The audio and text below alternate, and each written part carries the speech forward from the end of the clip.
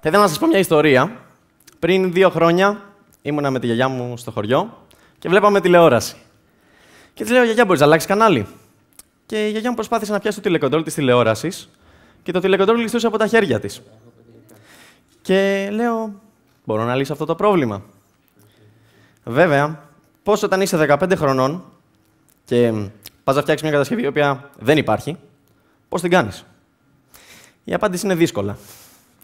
Λοιπόν, αφήστε με όμως να σας πω πώς, ακλι... πώς ακριβώς το αντιμετωπίζει η παρούσα κατασκευή, την οποία ανέπτυξα μετά από πολύ καιρό. Λοιπόν, αλγόριθμος, όπως όλοι ξέρετε, ονομάζεται τη διαδικασία επίλυσης ενός προβλήματος σε συγκεκριμένο χρονικό διάστημα. Αρχικά, όπως όλοι καταλαβαίνετε, θα πρέπει να υπάρξει μια κατασκευή, την οποία φορά ο χρήστης. Πρέπει μετά να βρω έναν τρόπο ώστε να συλλέγω τα δεδομένα, δηλαδή πότε ο χρήστης πάει να πιάσει κάποιο αντικείμενο, ένα ποτήρι, ας πούμε. Πρέπει να αναπτύξω ένα επεξεργαστικό σύστημα το οποίο θα επεξεργάζεται όλα τα δεδομένα, να κινεί κάποιους ανάλογους κινητήρες ώστε να ενισχύσει πρακτικά τη δύναμη.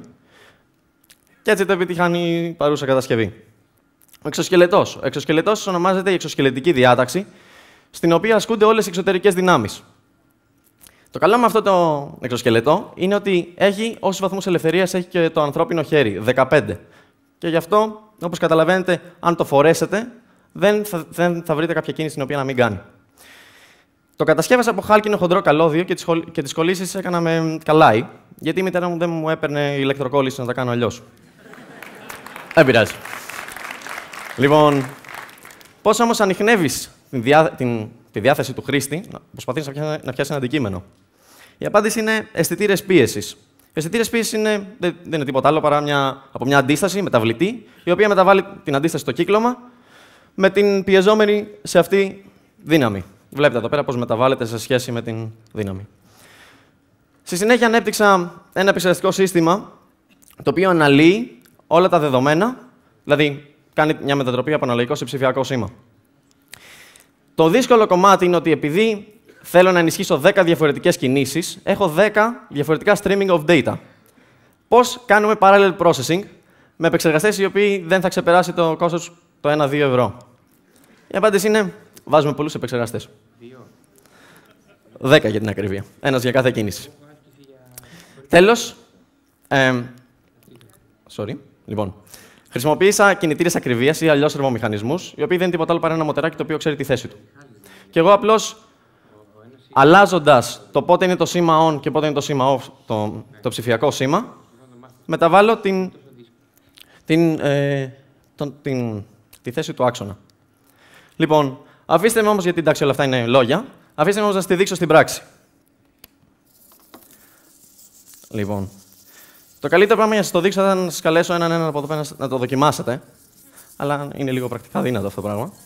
Αυτό που θέλω να δείτε είναι ότι πώς κάνοντας κινήσεις, πόσο γρήγορα το αντιλαμβάνεται και πόσο γρήγορα κουνάω όλα τα δάχτυλα. Βλέπετε εδώ πέρα να κάνω όλες τις κινήσεις με το χέρι μου. Α πάμε όμως στο τι θα μπορέσει να γίνει αυτή η κατασκευή. Επειδή φαίνεται ογκώδη, έχω να σας πω ότι ζυγίζεται τα 420 γραμμάρια και είναι κατασκευασμένη από μέταλλο. Οπότε... Λοιπόν, αρχικά θα πρέπει να σχεδιαστεί σε ένα, πράγμα, ε, σε ένα πρόγραμμα τρισδιάστατης απεικόνησης, αλλιώ CAD software. Βλέπετε εδώ πέρα ένα παράδειγμα ενός καθημερινού αντικειμένου. Πώς μελετά το πρόγραμμα ποιες δυνάμεις ασκούνται πάνω σε αυτό. Με αυτόν τον τρόπο μπορούμε να κάνουμε πολύ αποτελεσματικότερη την κίνηση της εξωσκελετική διάταξης. Στη συνέχεια, θα πρέπει, όπως καταλαβαίνετε, επειδή involves an exoskeleton, που λέμε, ε, θα πρέπει να υπάρξει ένα, μια διάταξη η οποία να κάνει σε όλους τους χρήστες. Αυτό πρακτικά δεν γίνεται. Αλλά πώς όταν βγει στην αγορά θα γίνει. Η απάντηση είναι 3D printing. Είναι μια ε, είναι τέλος πάντων ένα rapid prototyping method, το οποίο μπορεί και, και εκτυπώνει τρισδιάστατα αντικείμενα. Ο συγκεκριμένος εκτυπωτής ε, στοιχίζει 2.000 ευρώ και μπορεί και εκτυπώνει ε, αντικείμενα από ABS plastic. Τι είναι το ABS plastic, νομίζω όπως όλοι ξέρετε, χρησιμοποιείται μέχρι και στην αεροναυπηγική στα αεροπλάνα. Οπότε καταλαβαίνετε πόσο σκληρό είναι. Τέλος, ε, αυτή είναι μια πλακέτα που σχεδίασα το προηγούμενο Σάββατο, σε ένα διάλειμμα τα μαθήματά μου.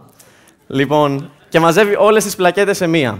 Όλες αυτές οι βελτιώσεις, τις οποίες σας έδειξα, θα μειώσουν το κόστος της συσκευής στα 390 ευρώ και το βάρος της κατά 180 γραμμάρια.